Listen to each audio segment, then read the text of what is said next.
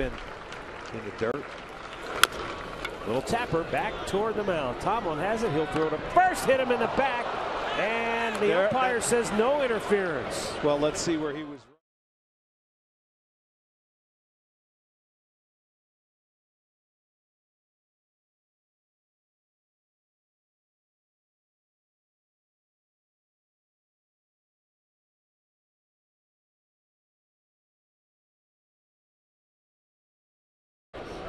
He's inside He's good. right here. He's good. And then watch right here. He goes to the inside. Both feet are inside that line. Josh hit him right in the back of the head, and that's exactly what Tito's talking about right now.